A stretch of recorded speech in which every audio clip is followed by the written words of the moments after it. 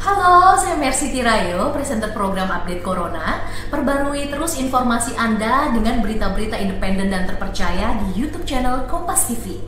Jangan lupa untuk subscribe, like, dan komen, serta aktifkan tanda lonceng untuk mendapatkan notifikasi berita-berita terkini. Hikmah Febriani, seorang ibu hamil warga Kecamatan Tanete Riatang, Bone, Sulawesi Selatan, sudah pecah ketuban saat ia bersama suami dan ibunya hendak menuju pelabuhan Kolaka.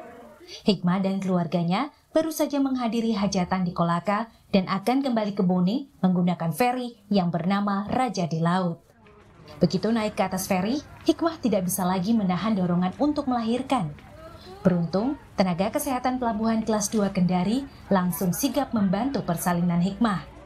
Setelah berjuang selama satu jam dengan fasilitas yang terbatas, Hikmah akhirnya melahirkan bayinya di atas feri.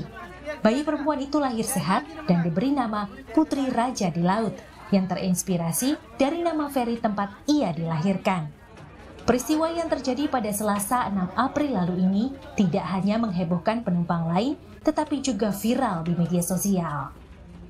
Eh, sebenarnya bukan dari orang sini, hanya dia dari Bajoe. Kebetulan katanya eh, dia menghadiri eh, apa pesta keluarganya di sana selama tiga hari. Nah, dia memang sudah diperkirakan bahwa apa hari HPHT-nya itu eh, satu minggu eh, tanggal 18 April tapi satu minggu maju gitu.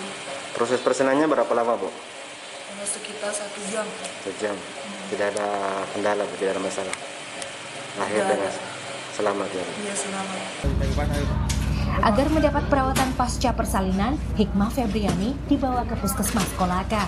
Sebagai bentuk ikut berbahagia, biaya persalinan Hikmah ditanggung oleh manajemen kapal.